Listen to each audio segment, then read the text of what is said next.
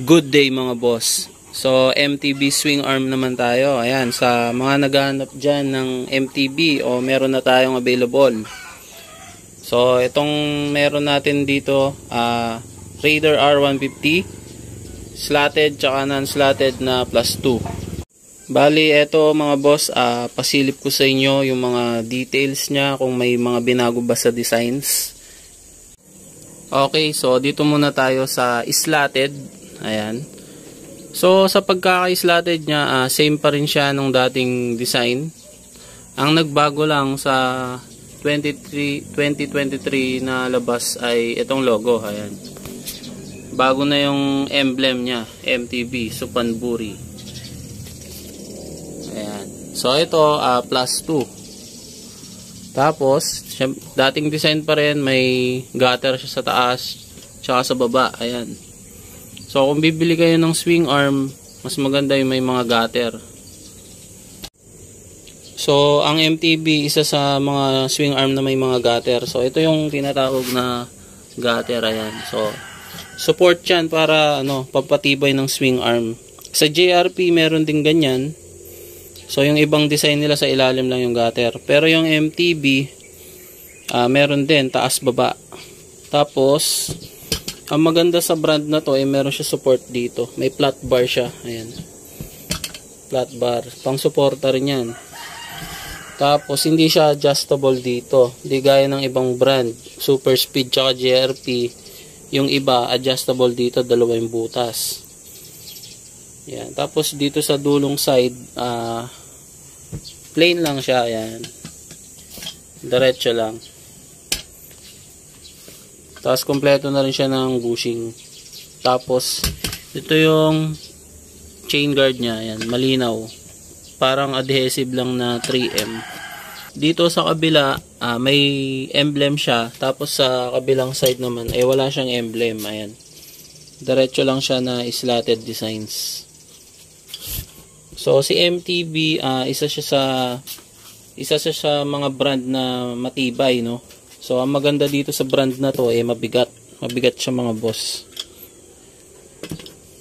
Okay mga boss, ah, dito naman tayo sa non-slotted or yung hindi lighten na variant, no? So, ito, ah, plus 2 rin to. Ang pagkakaiba niya lang dun sa slotted is, ito wala siyang butas-butas. Plain lang siya, ayan. So, dito yung emblem. Tapos, same specs din, may flat bar. Tapos, uh, sa kabilang side, eh, plain na plain, wala yung emblem niya. So, ang MTB, kabila lang yung emblem niya. Sa kabila, uh, wala siyang emblem. So, ayan siya mga boss. At sa mga nagtatanong naman kung pwedeng pang daily, tsaka angkasan itong brand na to. So, pwede naman pang angkasan yan mga boss. Uh, wag lang yung bara-barang pagdadrive. Siyempre, nasa pagdadrive nyo pa rin yan. Tsaka alam naman natin yung mga Thailand alloy parts eh ginawa para pang racing, pang forma. So hindi talaga siya pang heavy duty. Pero itong brand na to isa sa mga matitibay. Ayan. So tiis ganda na lang mga boss. So sa mga Raider available to sa plus 2, plus 3, tsaka standard. Standard haba, non-slotted, tsaka slotted. Available din to mga boss sa Sniper, RS150, tsaka Wave. Ayan. So, yung Wave pwede yan sa mga Pantra, TMX, Badja, mga Rusi, yan. Meron tayo yan mga boss. So, shoutout nga pala kay Michael Bolo ng Negros Occidental. So, nag-order siya ng ganito. Uh, non-slotted na pang Raider R150. Ayan. So, salamat sa tiwala, Boss Michael Bolo. Ayan. Isang tip, no? Kung naka-alloy swing arm kayo kahit anong brand uh, mas maganda wag kayong maglalagay ng matigas na brand na shock. Ayan. So dito kasi minsan nadadali yung mga swing arm na alloy pag matigas yung shock. So kailangan uh, maganda yung play ng shock nyo kapag mag-alloy swing arm kayo. Kasi sa portion na to minsan nasisira yan pag sobrang tigas ng shock nyo.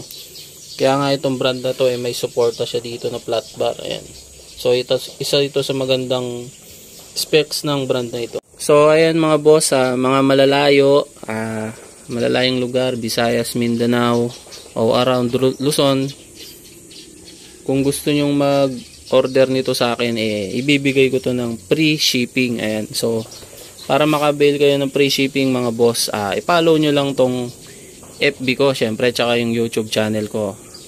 So, kapag na-follow nyo yan, ah, pag mag-order kayo, free shipping yan, syempre. So, kung may mga katanungan pa kayo mga boss, ah, comment down below nyo lang. Ayan. So, hanggang dito na muna itong ating video. Ayan. So, ride safe mga boss.